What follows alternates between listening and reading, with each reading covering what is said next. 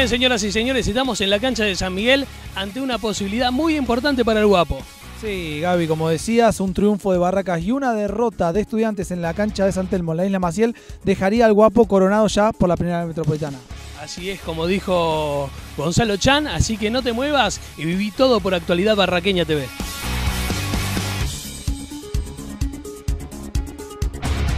Hola, hola, hola, ¿qué tal? ¿Cómo les va? Muy buenas tardes, bienvenidos Aquí estamos en una nueva presentación del departamento de prensa del Club Atlético Barraca Central.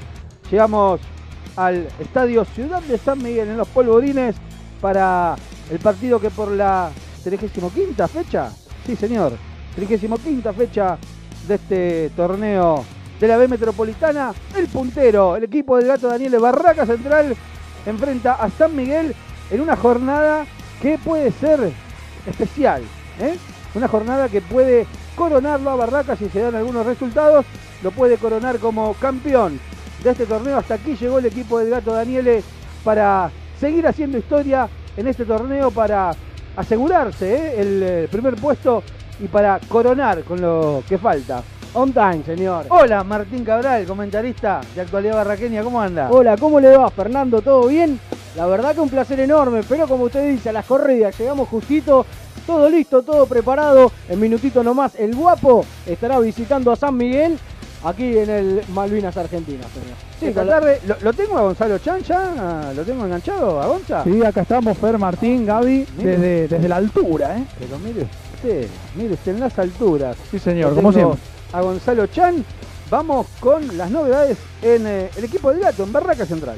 Sale del equipo Fernando Valenzuela, ingresa como titular Iván Tapia entonces con la 1 va a estar Elías Gómez, línea de fondo, 4 Broschi, 2 eh, Ezequiel Filipeto, 6 Fernando González y 3 Leonel Bontempo. En el mediocampo va a estar con la 8 Juan Pablo Pasaglia, con la 7 Maxi Rodríguez, 5 para Carlos Arce, 10 para Iván Tapia, 11 Luciano Romero y 9 Facundo Castro. ¿eh? saludando a su público. Comenzó a rodar la pelotita aquí en el Ciudad de San Miguel, el balón que ya lo va sacando Pillolo rebotaba la pelota en Iván Tapia, balón afuera, en el arranque, en el comienzo del partido nada más, hay lateral, a la altura de la mitad de la cancha, favorece a San Miguel. Local, Lungarzo, Toledo, Peralta, Lillo, Reynoso, Servián y Bruno Volpi. Los siete que eligió el gato Daniele, Mariano Monchor, Matías Tapia, Germán Mandarino, Diego Galeano, Luis Bebacua. Se viene Romero. El derechazo de Romero que se fue cerquita. La pelota quedó picando en el área Apareció el corcho como un fantasma, se metió entre los centrales. Casi, casi el primero, Martín. Quería sí, a venir el centro. ¿Cuánto va? 15 minutos y medio viene el centro al área. La pelota que quedaba en el área. Y el loco. El loco que domina después de que no podía rechazar. Buen tempo. Apareció el loco Elías para dominar en los tiempos. Domingo confirmado, 15.30. Sí, no, no tengo confirmado el horario, Fer. Sí, pero otro horario a esperar porque la tiene dentro del área. Fernando González, gol. ¡Gol!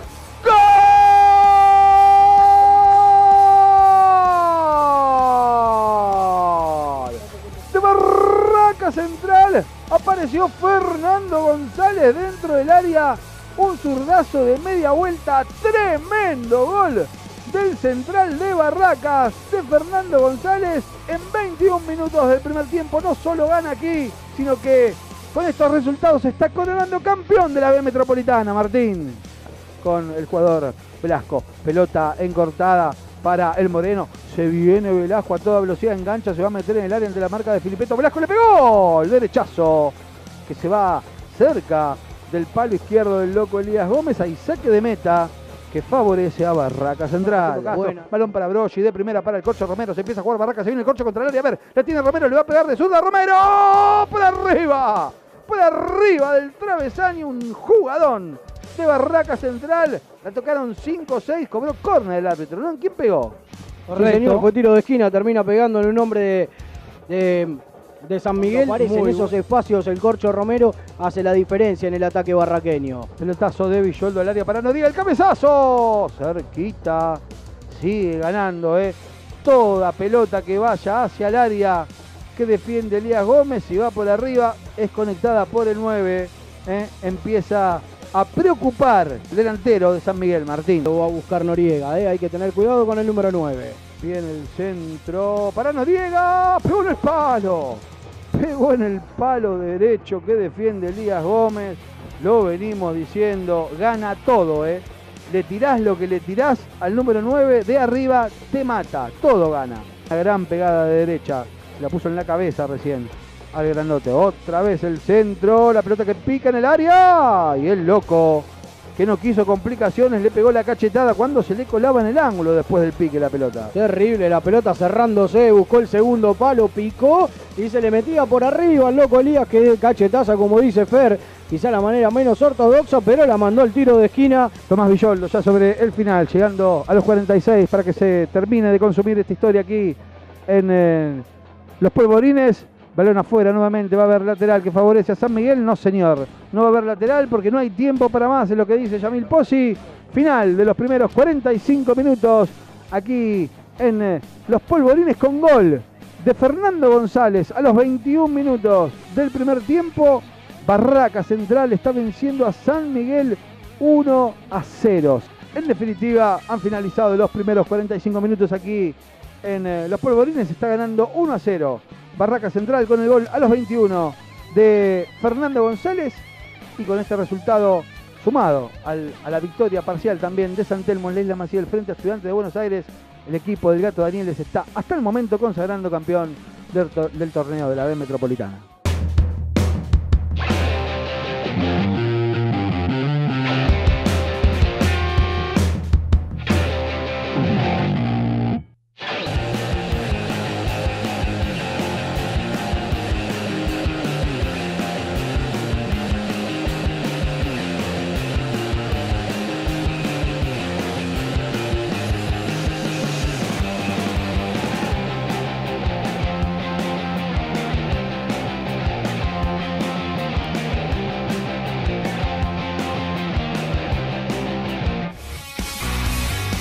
Miguel, el pitazo de Yamil Pozzi comienza a rodar la pelotita en estos segundos 45 minutos. Va saliendo Juan Pablo Pasaglia con el balón. Intenta con el Corcho Romero. Gana Romero, lo marcaban entre dos. Tomándolo al número 9 Noriega, pero peligroso el tiro libre. Viene el, al segundo palo el cabezazo de Noriega. Otra vez ganaba Noriega. Otra vez, una vez más.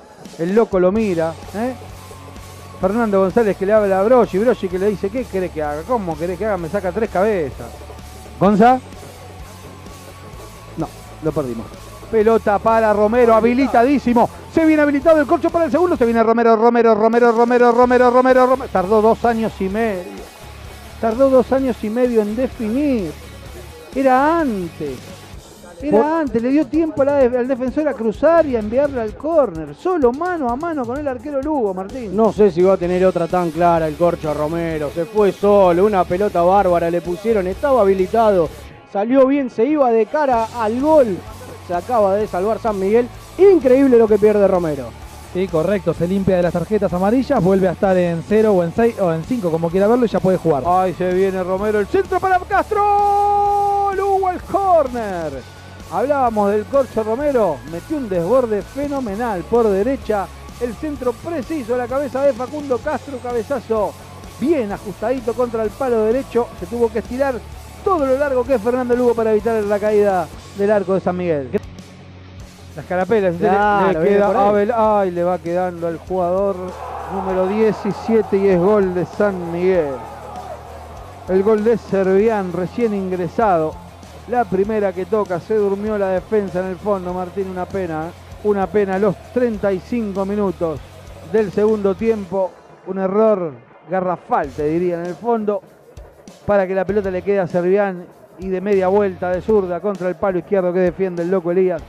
El número 5 de San Miguel mira el cronómetro. Posi viene el centro al área para Velasco. Cruza y cierra bien de cabeza Broggi la va sacando Fernando González a medias, le queda la termina reventando Fernando González. Cuando el árbitro Yamil Pozzi se lleva el silbato a la boca y dice, señores, no hay tiempo para más. Ha finalizado el partido aquí en los polvorines, han empatado 1 a 1 San Miguel y Barraca Central. Una pena estuvo a 10 minutos el equipo del gato Daniele de coronarse campeón. Santelmo hizo lo suyo. Le faltó aguantarlo 10 minutitos más a Barracas. Pero bueno, está todo dispuesto, queda todo dispuesto para que en el clásico frente a Santelmo el próximo domingo Barracas tenga la chance de coronarse campeón, Martín. Loco, ¿cómo viviste desde dentro del campo de juego? ¿Cómo viste el empate frente a San Miguel?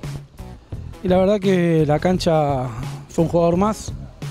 Eh, no encontramos en el segundo del tiempo el juego, en el primero sí, tuvimos el gol. Y bueno, después una jugada que sabíamos que podía, haber que podía pasar por el estado de la cancha, una pelota dividida ahí. Y bueno, le quedó a uno de ellos y la, metió, pero eh, lo importante es no perder de visitante. Sabíamos del resultado de estudiantes pero bueno, ahora sabemos que jugamos el clásico en nuestra cancha con nuestra gente y tenemos la obligación de ganar. ¿Qué gusto tiene poder salir campeón frente a San Telmo de local? No, eh, va a estar lindo, va a estar, eh, ojalá que se juegue el domingo, no sé si se juega el domingo para que pueda venir toda la gente, toda la familia valraqueña. Y nada, la gente lo disfruta más porque es el clásico y nosotros tenemos que vivirlo así. Eh, y bueno, ganar de local como te dije antes. ¿Tenías ganas de levantar la copa hoy o es un tema de esperar qué día cae? No. Si venía hoy, bienvenido sea, pero nada, los partidos hay que jugarlos. Eh, vamos contra eh, un rival duro, en una cancha muy difícil, donde nosotros no podemos plasmar nuestro juego. Y bueno, vamos a sacar lo positivo. No estuvo Fer, el equipo no lo sintió tanto, jugó Iván. Esas cosas hay que rescatar, que es lo bueno que tiene este equipo, el recambio. Fernando se intentó de todas formas, a falta de 10 minutos, San Miguel terminó empatando, Barracas se hubiese coronado como campeón de la metropolitana. ¿Cómo lo viste desde adentro? Sí, sí, sí, creo que por ahí, eh, de una, jugada desafortunada, creo que ellos encontraron el gol, pero creo que, lo teníamos controlado el partido, es más, podíamos haber eh, marcado un gol más, pero bueno, ¿qué va a hacer? El destino por ahí no quiere que, que hoy salgamos campeones, creo que la próxima vez tenemos, el domingo que viene tenemos la revancha, así que bueno, eh, tampoco es malo el punto, creo que era una cancha muy difícil, veníamos de jugar hace tres días, un partido muy intenso como fue el de Unión, las emociones que tuvimos eh, el otro día, creo que, no la habíamos vivido en todo el torneo, así que bueno, creo que también hay, hay que sacar lo recatable que hoy sacamos un punto importante también. A saber cuándo es la fecha del campeonato, está todo encaminado, Barreca ya sacó 8 sobre 9 posibles. Sí, sí, sí, creo que por ahí eh, venimos haciendo las cosas bien, creo que tampoco nos apuramos, creo que hoy eh, como te digo, fue un, rival muy duro, la cancha estaba muy fea para los dos y, creo que nosotros por ahí en el juego que tenemos no lo favoreció, pero bueno, dentro de todo eso también tuvimos oportunidades para poder ganar el partido. Metiste un zurdazo de media vuelta, tenés la, tenías la posibilidad de también figurar en la estadística, ¿no? Como el que hacía el gol del campeonato, terminó empatando San Miguel, ¿cómo disfrutaste tu primer gol en Barracas?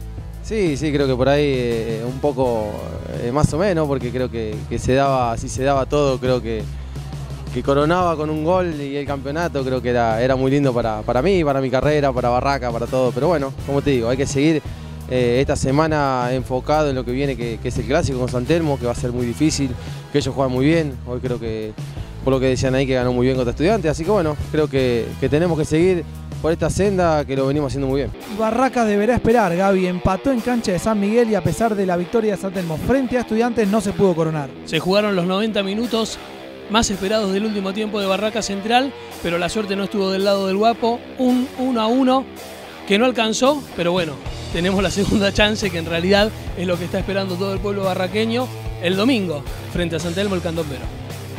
El tanto de Fernando González. Barracas ahora deberá esperar la próxima jornada cuando reciba a Santelmo en Olavarría y Luna para intentar coronarse en esta primera vez metropolitana como campeón. Y como siempre viviste todo en Actualidad Barraqueña TV. No te muevas y quédate siempre. Suscríbete a todas nuestras redes sociales. Barraca Central está siempre con vos.